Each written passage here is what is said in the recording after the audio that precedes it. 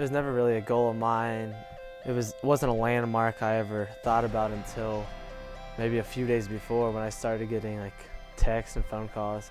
Stats is is never something I'm really, you know, concerned about. It's more um, win loss. You know, how's how's the program doing? How is the team doing?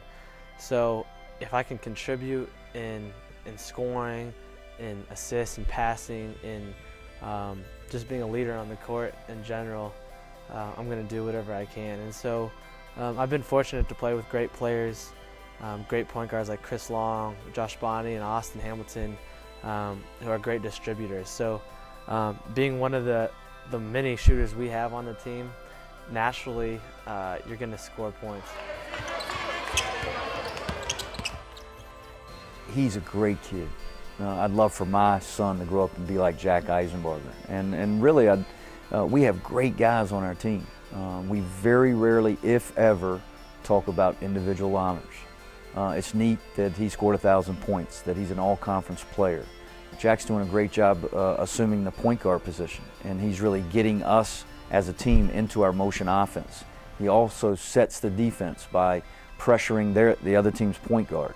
So he's really improved as a defender during his career here. Shooting the three is always fun, but it starts uh, with the fundamentals. Just putting in time at the gym, uh, being a gym rat when I was a little kid, uh, which is something you know I've had to do because um, I'm never the most athletic guy on the court. I'm not the biggest or strongest or quickest guy. So being being able to shoot is is really one of my only weapons, I guess. So uh, I guess I've tried to take advantage of that.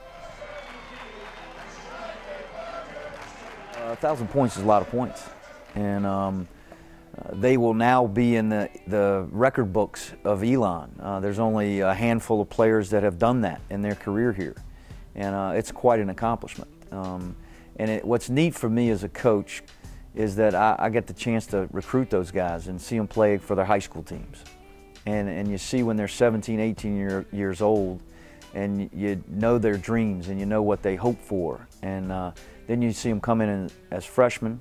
Uh, they had an opportunity to play right away, uh, which was really good for them. You see their growth through their sophomore year.